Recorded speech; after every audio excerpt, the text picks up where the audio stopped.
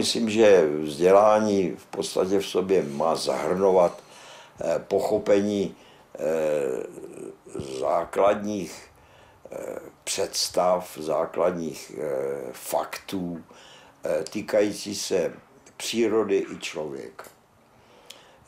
Jak jsem začínal, tak začínal jsem s přírodou vědomě, Eh, dneska eh, to množství informací je naprosto obrovský, nemůže se žádat po nikom, aby věděl co všecko, eh, ale myslím, součástí vzdělání je vhled do těchto oblastí. Vhled ve smyslu, že aspoň částečně ten mladý člověk pochopí, o co jde. Jan Svoboda pracoval jako vědecký pracovník, posléze ředitel Ústavu molekulární genetiky Akademie věd. V 60. letech byl průkopníkem buněčné genetiky. Stál u klonování prvního unikátního genu v tehdejším Československu. Zabývá se buněčnou a virovou genetikou, příčinami vzniku nádorů a v této souvislosti i nádorovými viry. Zasloužil se zejména o objasnění životního cyklu retrovirů, z nichž některé způsobují závažná onemocnění, jakými jsou různé infekce, leukémie, zhoubné nádory nebo AIDS. Má to být zajímavý i užitečný. Mm-hmm. A to stejně nehoří.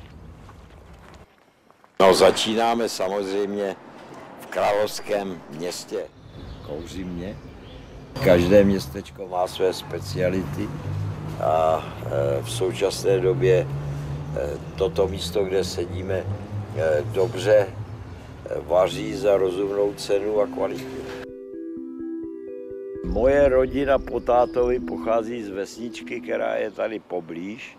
No a tohle to vlastně bylo nejbližší městečko.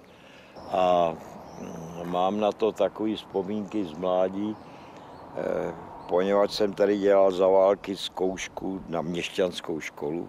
Vždycky mě dojímalo, že vlastně za války nepřemenovali kouřím na nějaký německý slovo jako i chrauche nebo rauchenau, ale byl to gurim. Ty objevy, které byly učiněny na retrovirech, eh, plně zrevolucionovaly eh, molekulární biologii a genetiku, protože se vlastně našel enzym nakonec, eh, který přepisuje buněčné vzkazy na gen. No a to je obrovská, eh, obrovský nástroj pro to, aby se vlastně dali studovat funkce genu. Až ta funkce genu není, že tedy v té bunce jen sedí, ale že se přepisuje, že funguje. No a ty, ty přepisy tak to je eh, předmět eh, toho současného zkoumání. Dejte si. Pane profesore, dejte si. No, tak já, já nepohrdnu tady. Nabídněte si. Jste moc hodná. Jo. Pěkně zralý. Mě eh, zajímalo jak příroda, tak člověk. Eh, domnívám se, že eh, lidé eh, dříve, než se začali zabývat lidskými vztahy, se zabývali studiem přírody. Páč v přírodě museli přežít. A aby v ní přežili, tak museli vědět, jak se vyrovnat s nejrůznějšími klimatickými, eh, alimentačními a jinými problémy. A mm, eh, z toho důvodu jsem byl vždycky přitahován tedy jak oběma. Možná někdy převýšilo něco na té přírodní straně, někdy na té humanitní a historické straně. Zdálo se mi a eh, mám ten pocit doteďka, že vlastně ten svorník mezi, mezi těmi přírodními vědami a těmi takzvaně humanitními vědami je biologie. To dneska začíná se znovu vracet, když se podíváte na mnohé studie současné, tak i archeologové se začínají více zabývat biologií, sociologové se začínají více zajímat biologií a Mm, eh, Biologie byla obrovsky přitažlivá v tom, že na rozdíl od generalizovaných zákonů fyziky, kterých si velice vážím a do kterých tak se rád občas ponořím, tak eh, ta biologie vám poskytuje neuvěřitelnou pestrost událostí. Ukazuje vám, že vlastně vývoj eh, vytváří nejrůznější individuality a vytváří podmínky variability. Nemůžu říct často na vejlety, ale každopádně tak jednou za rok se sem člověk podívá. Poněvadž, jak vidíte, je v podstatě krásný rozhled. Docela jasně bývá vidět zde České středohoří a když je jasno, taky Krkonoše. Musím říct, že jsem měl velký štěstí, že jsem zažil roky mezi 45. a 48. To byly roky fenomenální, i když dneska se zdaleka tak nedocenují, kdy vlastně se tady střetávaly ty východní vlivy sociální s tím podnikatelskou sférou eh, západní a hledali se nějaký mezicesty. Já vždycky věřím na to, že není řešení jednoznačné, že vždycky řešení je v syntéze těch nejlepších aspektů eh, různých propozic. No a v tu dobu, že jo, tady eh, byla společnost zcela svobodná, eh, takže člověk se mohl vyžít jako student gymnaziální ve scoutingu. Já byl u vodních scoutů a byly to fenomenální zážitky, když se sjížděli ještě vltavský šlajsny, o kterých už dneska nikdo nemá potuchy, ale současně se vytvářely možnosti se eh, aktivně eh, podílet na myšlení současným a to byla akademická jimka, která měla obrovský pozitivní význam, kde se scházeli lidi z nejrůznějších oblastí, jak humanitních, tak přírodovědných, nakonec některý teologové. A kde jsem jako měl první možnost se seznámit s lidmi, kteří věděli daleko víc než já a který mě jako upozornili, co všechno bych se ještě jako měl přečíst a naučit. Takže to byly takové dvě e, hlavní organizace, které přispěly k tomu, jak jsem vyrost. No a navíc třetí, a to je potřeba říct zcela jasně, e, ten nezadebatelný fakt, že v tu dobu třeba gymnaziální studia představovaly opravdu specializované studium, eh, kde samozřejmě byli nejrůznější kverulanti taky, ale eh, byli tam profesoři, kteří eh, měli svou vynikající úroveň. Mě latinu učil Mertlík, matematiku jsme měli výbornou. Musím říct, že jsem měl i to štěstí, že mě učil historii vynikající znalec historie, doktor inženýr Dorazil, který sepsal řadu vynikajících popularizačních děl, moc krásně nám přednášel, no ale měl jsem k ní určitou afinitu, tak jako i eh, k mnohým jiným oblastem vědění, protože vědění v podstatě má být jedno. Když se podíváte ta znalost historie, psychologie, sociologie eh, hraje svoji roli eh, i v poměru hledání správného přístupu k lidem, eh, k situacím nejrůznějším, k vyhodnocování spojitostí. No a nakonec, poněvadž jsem biolog, tak vlastně musím zdůraznit, že biologie je věda historická.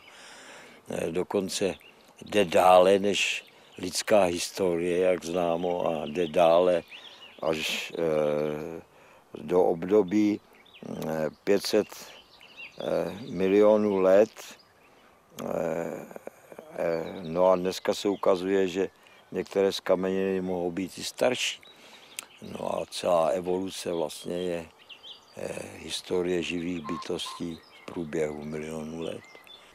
No jinak historie je samozřejmě zajímavá, mě zajímá skoro všecko. A stojíme vlastně na vrcholu hradiště, které nese název Stará Kouřim. Eh, vidíte, že tady nejsou žádný domy. Místo bylo osídlené ještě v neolitu. Eh, zcela pochopíte proč, když se podíváte do kraje, tak je evidentní, že to bylo místo vyvýšené, eh, bylo místo hajitelné a přitom eh, v okolí se rozkládala výborná zemědělská půda. Hezký, že jo. Opravdu jako hrazené město trochu. Já bych byl pro zachování výuky latiny. Já bych byl pro velice kvalitní historii a samozřejmě vysoce kvalitní přírodní vědy. Eh, Tak byly ty gymnázia vlastně koncipovány. Eh, Takže mm, já myslím, že ta úroveň toho středního školství tehdy byla daleko vyšší než je dneska. Že vlastně všechny ty současné reformy, které jsou zaměřené spíš vnějškově, opravdu nerespektují ten fakt, že tu školu dělá učitel. To patří nakonec i pro vysokou školu. Co se týče rozhodování, co studovat, jsem je nakonec strašně jednoduchý, pač já jsem dostal takový posudek, ve kterým se pravilo, že jsem nepřítel dělnické třídy a že se nedoporučuji na studium ve vysoké, na vysoké škole.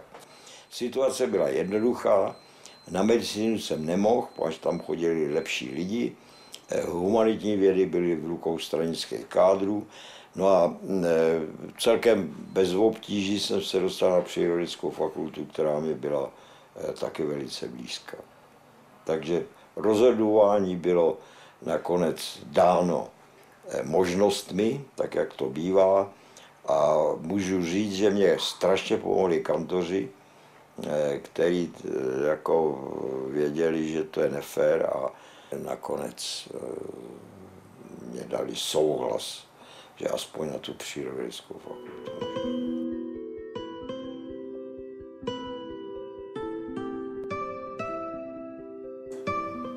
No já myslím, s těma Nobelovými cenama se to zbytečně přeceňuje. Si to lidi pletou s olympijskými hrama. I když olympijské vítězství se dalo koupit ve Starém Řecku. A to tak, že si člověk koupil nejlepší koně, měl nejlepší čtyřpřežení a ty koně ho dotáhli k vítězství. To udělal Alkybiades.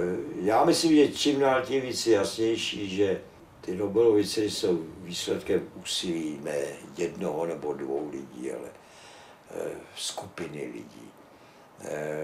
V tomhle smyslu nakonec snad jeden z mála tak ferovej byl Temin, který ve své Nobelovské přednášce uvedl ještě asi sedm men, kteří jako mu umožnili, aby se to dostalo až na tuhle úroveň, že jo. No, nemilé, že tam zmínili nás. V podstatě je to, tak jsem to i Teminovi kdysi říkal, je to prostě kus odpovědnosti za obor, když člověk tu Nobelovu cenu získá. A člověk, když ji nemá, tak si může dělat větší legraci z těch, kteří mají, což je obrovská výhoda. To je právě to, že člověk není tak moc zavázaný, což je fajn. To já nerad bývám. Náš dnešní večer přichází do finále a my všichni čekáme, kdo se letos stane držitelem nejvyššího ocenění, kterého může vědec v České republice dosáhnout. Národní cena vlády Česká hlava se uděluje jednotlivci za mimořádný výsledek dosažený v oblasti výzkumu a vývoje. Jsem velmi rád, že mohu sdělit, že cena Česká hlava eh, bude udělena panu profesorovi, doktorovi Janu Svobodovi, doktoru věd. No to bylo milý, to bylo velice milý, nakonec i ten úvod času byl velice pěkný. Škoda, že ty další kroky vládní už v tom duchu dál nepokračovaly. To bylo milý a taky jsem tam řekl, co jsem si myslel. Je to správný, že nějaký ocenění je. Záleží na lidech, jestli zblbnou po tom ocenění nebo nezblbnou.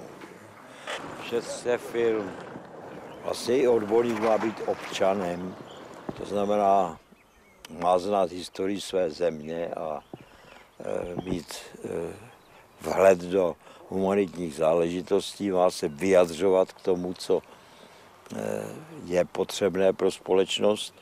Páč bez toho nemůže existovat demokracie. Když se podíváte na historii Řecka, tak tam lidi, kteří neřekli svůj názor na politické dění, byli nazýváni idioty. Eh, A eh, když nehlasovali buď pro nebo proti, tak byli pokutováni. Já myslím, že vzdělání vlastně má vést k tomu, aby člověk nebyl manipulovatelný. Takže eh, vzdělání není memorace, vzdělání má být prováděno diskuzí, obzvlášť na vysokých školách. Mají tam být výrazné osobnosti, které věci říkají ze svého pohledu a přitom jsou schopni eh, i z těch specializovaných pohledů eh, mít eh, schopnost poukázat na vztahy, které se váží k dalším oborům. Propojit určitý typ poznání s jiným typem poznání. A to je, myslím, základ vlastně současné vědy, eh, která eh, je postavená na propojování znalostí, nikoliv jenom na kumulování znalostí. Nakonec dobrý manažer, eh, který ví něco o české historii nebo evropské historii, se stane zajímavým. Eh, Kdykoliv eh, jsem s Američanama nebo s Angličanama, tak se semele všechno. Eh, Od ministerských předsedů po eh, politickou situaci, eh, po problémy světa a to velice tvrdě a po historické, pro, po, po historické problémy, eh, které mají co říct v dnešní době. Eh, Každý z těch kvalitních kolegů západních je vzdělán v těchto oborech. Prostě to je základ. Páč bavit se jenom o buňkách, tak eh, to jako eh, nevede k navázání lidských vztahů. Eh, Já myslím, tahle poslední 20-letá éra eh, má dosti velké vady na kráse, že se prošvihly nejrůznější možnosti, jak hm, dát funkčně dohromady hospodářství. Eh, Myslím si, že ta privatizace opravdu byla divoká, že to byly ztráty obrovské, eh, které vedly k tomu, že se eh, zanedbaly věci, které mají dlouhodobý význam. To znamená školství, zdravotnictví a každopádně věda. Proto, aby to vzdělání dosáhlo vyššího stupně, musí být finančně zajištěno. A e, musí se vytvořit opět takový prostor, že třeba středoškolský kantor nebo kantor na vesnici je někdo.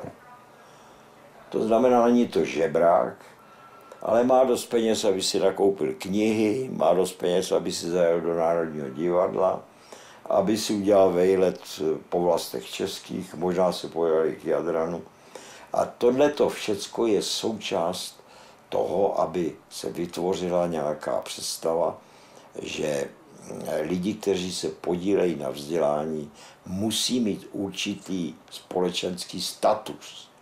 A když ho nemají, tak vlastně to vzdělání eh, nemůžou pořádně provozovat. Záleží strašně na učitelích a na rodinách, jestli ty děti vedou k tomu, aby eh, opravdu se snažili něco poznat. A mm, to, myslím, je základ eh, pro budoucnost, máš taková země, jako jsme my, která mm, výjima vytěžených zásob uranu eh, už nic jiného nemá, tak eh, musí v té oblasti vzdělanosti být na špici. Páč. To je to, co nás uživí, eh, to, co eh, vytvoří pracovní podmínky pro budoucnost. Vlastně katastrofa přišla s okupací 68., kdy teda eh, jsme měli přislíbenou eh, spolupráci s nejlepšími americkými pracovišti v té době. Eh, už byly plánovány stáže tady i tam, jenomže když se svět dověděl, že eh, Československo obsadili tedy naši milí spojenci, tak jsem samozřejmě nikdo nepřijal. Eh, Já jsem po 68. měl eh, pozici nezávislého eh, vědce na NIH. Měl jsem vízum, měl jsem letenku. A pak mě psal Milan Hašek z Rakouska, že se vrátí, až odejdou spojená vojska a že mi do té doby předává ústav. A když jsem viděl, že se to celý rozpadá, nakonec i ty někteří, kteří se vrátili, se potulovali po nejrůznějších koutech Evropy. Že? Tak jsem si řekl, že by to byla škoda. A když to na mě hodil, tak jsem se rozhodl, že nikam nepojedu. Jsem se rozhodl tak, tak jsem musel mít důsledky. Jsem je nes. Tak jsem se soustředil na pár dobrých věcí, které se mohly dělat rychleji a nebyly špatný, do teďka jsou oceňovaný, které se udělali během té eh, blbý éry 20 let a pak tady byl biochemický sjezd světový v roce 88 a přijeli sem špice zahraničí a, a byli, byli spokojeni, co děláme. To asi báječná zábava. Rozhodující je, jestli eh, máte kus vnitřní volnosti, samozřejmě i kus vnější volnosti. A musíte mít vnitřní volnost pro to, abyste se rozhodoval, co je správně a co je nesprávně. Eh, když člověk nemá ty prostředky, tak pak to všechno trvá a ztrácí se eh, renomé, poněvadž jsme spoždění. No aby se tohle nedělo, aby jsme nebyli spoždění, na to musíme mít prostě prostředky. No a ty za těch totalitních režimů nebyly. Dneska jsou někde, je otázka, jak se využije. Já si myslím, že nejdřív je třeba si vyjasnit pojem, co je ta věda. Že jo. Když se podíváte do těch nejlepších encyklopedií, tak se vám teda objeví správná dichotomie mezi vědou jako věděním a vědou jako novým věděním. A to z toho důvodu, že tam se vlastně eh, koná eh, úsilí o tom, o to získat nové poznání, lepší poznání, hlubší poznání, kritičtější poznání. A už ten proces sám vlastně, to hledání eh, nezávislého, kvalitního poznání je snad největší školou vůbec pro eh, oblast eh, vzdělání. Vzdělání nemá být jenom biflování faktů, že jo? já už jsem to snad říkal, ale má to Eh, obsahovat eh, i návod k tomu, jak s těmi fakty zacházet, jak je kriticky hodnotit, jak se vyjadřovat problémům současnosti, nejenom nadávat, ale jak eh, organizovat kritický postoj k špatnostem. A to je to, co se pomalu začíná Eh, maličko eh, vytvářet eh, a mám pocit, že už se to stane čím dál tím víc obecnějším, že tedy lidi budou hm, chtít víc zasahovat do toho, co se děje. Já myslím, bez toho je demokracie neudržitelná. A všechny představy, že vlastně občanská společnost není nutná, no to je naprosto protidemokratický názor. To nemůžou říkat představitelé státu.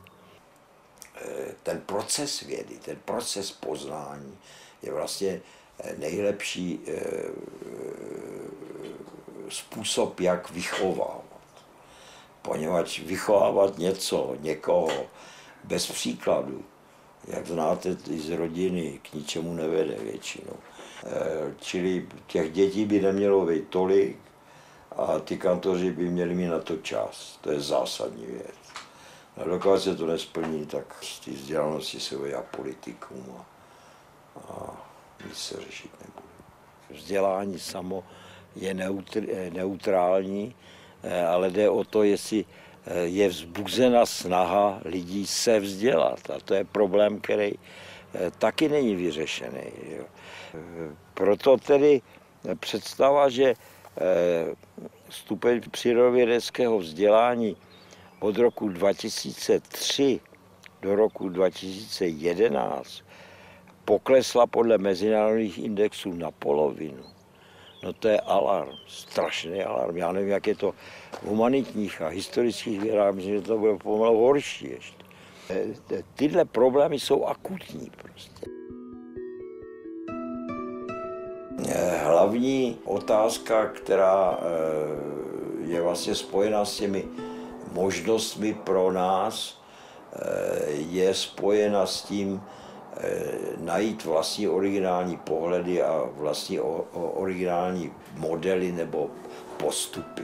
Tak ta nekonvenčnost pohledu spojená eh, s tvrdohlavostí.